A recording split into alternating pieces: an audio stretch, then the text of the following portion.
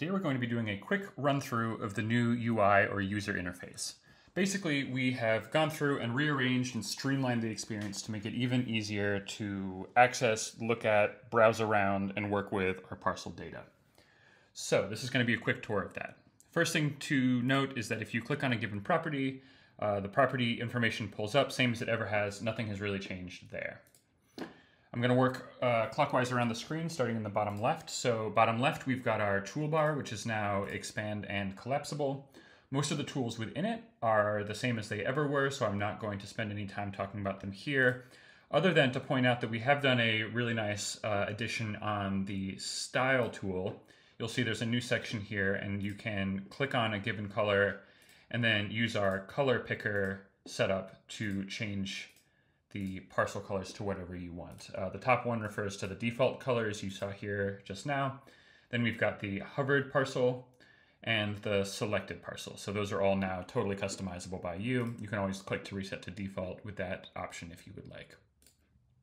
The other thing to talk about on the toolbar is that we've moved the project settings here. So if you're working in a project or if you want to start a project, all those options live under this uh, pane.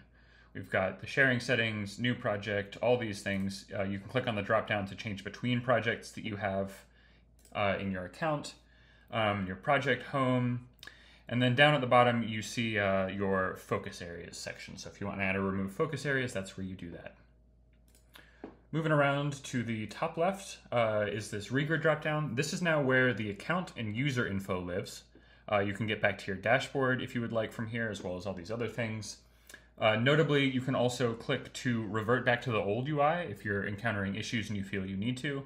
Worth noting there that we would actually love it if you would use the feedback form to let us know if you do hit any issues because we obviously want to get those fixed. We are very confident, I would say, in the current function, but if you hit an edge case, we'd love to hear about it so we can get it fixed up for you. If you're not signed in, uh, you would be prompted to sign in up here. Um, and if you are signed in and you obviously want to sign out, you can do that as well from this dropdown. Couple other things to note quickly. Uh, so now we're at the top center. Uh, this is where we've moved the breadcrumbs. Uh, if you mouse over it, you can see the breadcrumbs pop down here and you can use them just like you always did. Uh, a nice thing that we've done additionally here is if you sort of pan the map to somewhere else, you'll see that the place actually updates to accommodate that. Uh, so that's a slick little thing that we were able to include in this update as well. Top right, uh, search bar, same as it ever was, same functionality as we've always had, so nothing really has changed there except now it's up in the top right. Uh, and then down in the bottom right, we'll run through these fairly quickly. Uh, this is the help uh, menu. You can access some help materials here as well as our super comprehensive support uh, site. Um, you can see this video tour if you want to watch it again. And you can also contact uh, support and open our chat there if you need to get in touch with us. This crosshairs button is a locate me function. Uh, note that if you click that, your browser may ask you to allow that before it'll work.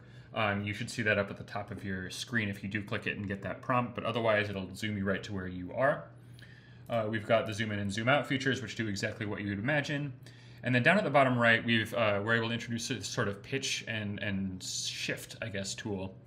Uh, so what you can do here is, uh, you know, pitch and shift. Uh, if you want to, you know, if you're moving things around and you want to go back to sort of a straight top-down view, simply click on that button and it'll reset your view. Finally, we have a much improved visually layers tab. This contains all the same things that we had previously. It also includes uh, boundary options if you need to change your sub-boundary type or get rid of them entirely. Uh, the rest of this is exactly the same, except we've got some nice pictographic things going on here. Street and satellite base map. You can choose what labels you want to have, uh, as well as your parcel dimensions for the parcel you click on. And then we have all the additional layers that we've always had. Uh, we're looking forward to adding some new and exciting ones here shortly, but for now, you can access and use all of the good ones that we already have. That's about it. We uh, hope that you're enjoying the new UI as much as we are. Uh, and again, don't hesitate to get in touch if you have any feedback for us. We'd love to hear it.